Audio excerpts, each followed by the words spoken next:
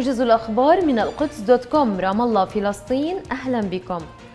ذكرت مصادر رسمية في رام الله أن اللقاء الذي كان مقررا اليوم السبت بين الرئيس محمود عباس ورئيس وزرائه دكتور سلام فياض لتسوية خلافهما أرجئ من جديد إلى ما بعد زيارة عباس المقررة للكويت الاثنين المقبل. قررت هيئة محكمة جنايات القاهرة التي تنظر بإعادة محاكمة الرئيس المصري السابق حسني مبارك ونجليه ووزير داخليته حبيب العدلي ومتهمين آخرين بقتل المتظاهرين في الثورة التي أطاحت بالنظام منذ نحو عامين قررت التنحي عن النظر في القضية وإعادتها إلى محكمة الاستئناف لتحديد دائرة أخرى للنظر فيها وذلك لاستشعاره الحرج. يشار إلى أن القاضي المتنحي المستشار مصطفى حسن عبد الله هو نفسه الذي أصدر أحكام براءة في حادثة موقعة الجمل وهي الحادثة التي هوجم فيها متظاهرون في ميدان التحرير أثناء الأيام الأولى للثورة. أكد مركز أحرار لدراسات الأسرى وحقوق الإنسان في بيان له أن قوات الاحتلال الإسرائيلية تستخدم أجهزة إلكترونية تصدر ذبذبات وإشعاعات تتسبب في إصابة الأسرى الفلسطينيين بمرض السرطان وآلام شديدة في الرأس. اعتقلت الشرطة الإسرائيلية 12 ناشطا يساريا حاولوا دخول مشفى كابلا في رحوبت حيث يرقد الأسير المقدسي سامر العيساوي المضرب عن الطعام منذ ما يزيد عن 260 يوما. عثر علماء تابعون للجيش البريطاني على أدلة بأن أسلحة كيميائية استعملت في النزاع الدائر في سوريا حسب ما ذكرت صحيفة التايمز. وقالت وزارة الدفاع البريطانية إن عينة من التراب أخذت من منطقة قريبة من دمشق ووصلت بشكل سري إلى بريطانيا. مؤكدة بأن نوعا من الأسلحة الكيميائية قد استخدم إلى أنها لم تؤكد مصدر تلك الأسلحة من الجيش النظامي أم من الحر. ميدانيا قتلت سيدة وطفلان وأصيب 16 آخرون في هجوم بقنبلتي غاز رميتا من مروحية سورية مقاتلة في بلدة عفرين بريف حلب وذلك وفقا لما أعلنه المرصد السوري لحقوق الإنسان. ضرب زلزال بقوة 6.3 درجات اليوم غرب اليابان قرب مدينة كوبي الساحلية ما أدى إلى إصابة 24 شخصا على الأقل حسبما أعلنت الوكالة اليابانية لرصد الزلازل والشرطة. عين البابا فرانسيس اليوم ثمانية كرادلة لمساعدته في تقديم الاستشارات فيما يتعلق بإدارة الكنيسة. نهاية الموجز أترككم مع الموجز الرياضي والزميل محمد العدم. إلى اللقاء.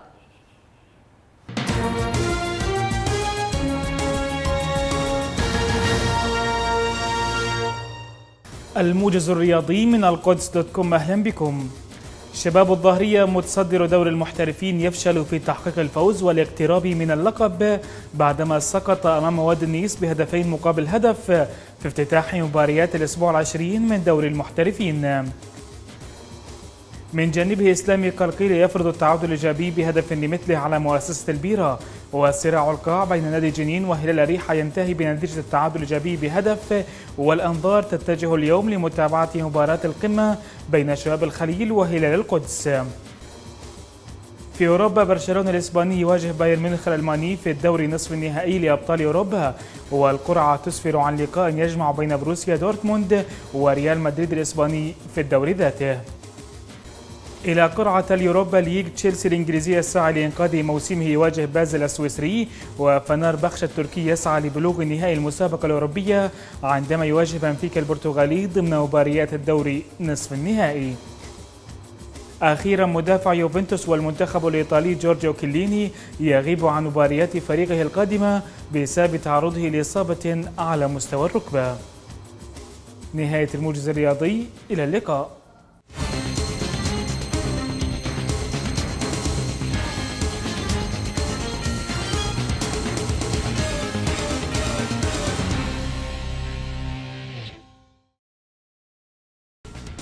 الموجز الاقتصادي أهلا بكم. كشف تقرير أعدته القدس دوت كوم مؤخرا أن البضائع الإسرائيلية في السوق الفلسطيني مستثنى من الجمارك أسوة بالمنتج الوطني. في حين تطال الرسوم الإضافية والجمركية البضائع العربية. اختتمت أمس جلسات الحوار الوطني بين القطاعين العام والخاص بالاتفاق على عدة محاور أساسية متمثلة بالسياسات الاقتصادية المناسبة للوضع الفلسطيني. والبحث في المواضيع الشائكة منها القدس والتبادل التجاري مع غزة. حذر برنامج الأغذية العالمي أمس من أن الأزمة الاقتصادية التي تشهدها مصر تمثل تهديدا لتوافر التغذية الأساسية في البلاد التي يقطنها 84 مليون نسمة حيث ينفق الفقراء أكثر من نصف دخلهم على الغذاء. قال رئيس المجلس الأوروبي هرمان فان رومبوي إن التهرب الضريبي يتسبب في خسارة دخل قدره نحو تريليون يورو سنوياً في دول الاتحاد الأوروبي السبعة والعشرين. وأن زعماء الاتحاد سيناقشون سبل علاج المشكلة في القمة المزمع عقدها في الشهر المقبل. وأخيراً أسعار صرف العملات مقابل الشيكل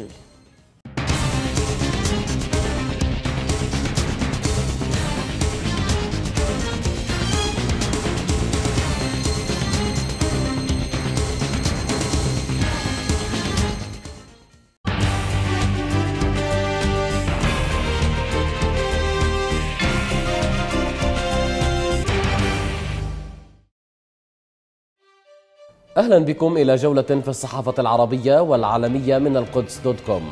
تناولت الصحف العربية والعالمية في عددها الصدر اليوم السبت عدة قضايا. جاء في مقدمتها تواصل الاعتداءات على المشاركين في المسيرات الأسبوعية ضد الجدار. إلى جانب الملف السوري ونفي شائعات استقالة الأخضر الإبراهيمي. بالإضافة إلى إجراء عمليات جراحية من دون تخدير للثوار المصريين. البداية من الصحافة الفلسطينية ومن صحيفة القدس تحديدا التي كتبت على رأس صفحتها الأولى تقول إصابة عشرات المواطنين والمتضامنين بجروح واختناقات بالغاز في المسيرات الأسبوعية المناهضة للجدار والاستيطان وكتبت القدس في عنوان آخر موقع الجيش الإسرائيلي يكشف عن وحدة حتساف المسؤولة عن تتبع مواقع التواصل الاجتماعي العربية. ويصفها بالكنز الكبير لدى المخابرات الإسرائيلية للحصول على معلومات هامة ودقيقة. الحياة الجديدة كتبت عدة عناوين في الشأن الداخلي الفلسطيني على صفحتها الرئيسية. منها نتنياهو يتهرب من إجراء مفاوضات جدية واليمين الإسرائيلي يبدد التفاؤل بنجاح خطة جون كيري. وكتبت الصحيفة في عنوان آخر الرئيس عباس يتسلم نسخة عن السجل الانتخابي المحدث وحنا ناصر يؤكد جاهزية اللجنة للانتخابات. ننتقل إلى الصحافة الدولية ونبدأ من سوريا حيث تحدثت صحيفة الشرق الأوسط السعودية عن أن استقالة المبعوث العربي والدولي إلى سوريا الأخضر الإبراهيمي هي مجرد شائعات حتى الآن. وأضافت الصحيفة أن الأمين العام للجامعة العربية نبيل العربي كشف أن الإبراهيمي يشكو من صعوبة الأوضاع وتعقيدها في سوريا مع تزايد حدة الخسائر البشرية واستمرار المعارك هناك. إلى مصر حيث نشرت صحيفة الجارديان البريطانية تقريرا عن تحقيق كشف أن الأطباء في مستشفى عسكري تلقوا تعليمات بعدم استخدام التخدير أثناء إجراء عمليات جراحية لثوار تظاهروا ضد العسكر في أيار من العام الماضي. ويشير التقرير الذي يحقق في سلوك الجيش والشرطة أيضا إلى أن الثوار تعرضوا لاعتداءات من أفراد الجيش والشرطة داخل المستشفيات. نختم من صحيفة السوسنة الأردنية التي كتبت تحت عنوان مبنى غامض في قعر بحيرة طبرية. وجاء في التفاصيل أن مجلة علمية بريطانية تحدثت مؤخرا عن الكشف عن مبنى غامض في قعر بحيرة طبرية يقع في الجنوب الغربي من البحيرة. وهو مبنى يعود تاريخه إلى آلاف السنوات تم بناؤه بحجارة ضخمة على شكل دائرة كاملة على حد قول الصحيفة. نهاية هذه الجولة تحية طيبة وأترككم مع أبرز ما نشرته الصحف العربية والعالمية من رسوم كاريكاتيرية.